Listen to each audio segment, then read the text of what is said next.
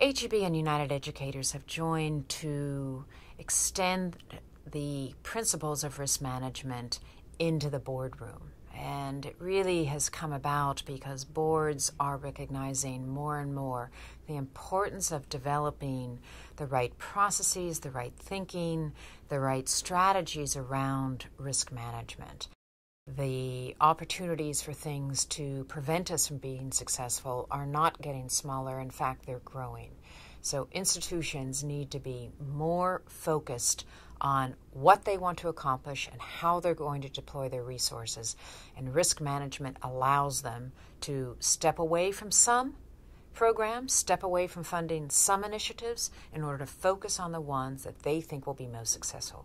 It is a tool, a tool that has been neglected by higher education for too long and a tool that can help institutions be successful. It is not the only tool, but if institutions are not assessing what risk could prevent them from being successful and how to engage the board, the senior administration, the entire campus in identifying, assessing, and managing risks, it has a much greater likelihood of not thriving into the future. There are two different types of institutions that I think would benefit most from the AGB and UE consulting. Uh, the first is those who have talked about it for quite a while, know that they need to do something.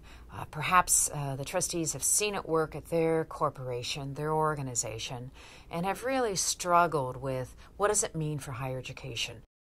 The second would be they've started it, maybe they've stopped it, they have, the institution has asked faculty and staff, what are the risks? What keep you up at night?